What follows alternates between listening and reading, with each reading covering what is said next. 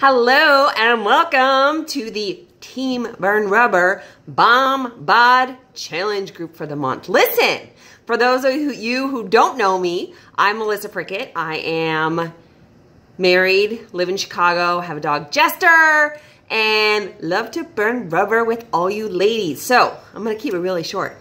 A lot of you coming back for the 19th time, some new faces. Super excited to be hanging out with all of you. This is a little challenge. There's going to be points and there's going to be prizes. So we start Monday. If it's already Monday, we'll start today, depending on when you log on to the app for the first time. You are gonna get a point for every time you drink a shake. You are gonna get a point for every workout that you check in. And don't be like, oh, I did five minutes of sit-ups. Like, do a workout, girl, all right? And then when you do log into the app, it's gonna ask you for your stats Make sure you enter your weight in there. It's private, all right? It's only between you and if you decide to share it with your coach, the person who invited you. Uh, but you're also going to keep track of your weight, and then you're going to get a point for every pound that you lose. So I'm not exactly sure 28, 30 days, however long we're running this, but that means you'll get up to 30 points for Shakeology. You can get up to 30 points for exercise, but it might be more like 25 because you don't have to work out every day. I mean, girl, if it's 15, like that's better than zero, right?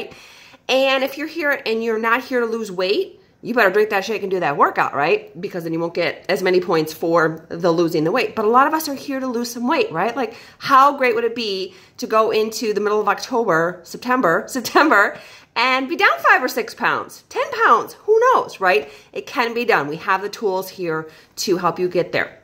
So, like I said, I am here to support you. We also have four other beautiful, amazing, smart, talented coaches helping uh, helping me within this group. We have Tori, we have Angela, we have Trish, and we have Mandy. And every day you'll see a post from one of us on uh, you know the challenge of the day. And the more you participate, the more you show the love and the comments and the encouragement to others, the more you will get that in return. Any questions, post them below. Let's start out with an introduction.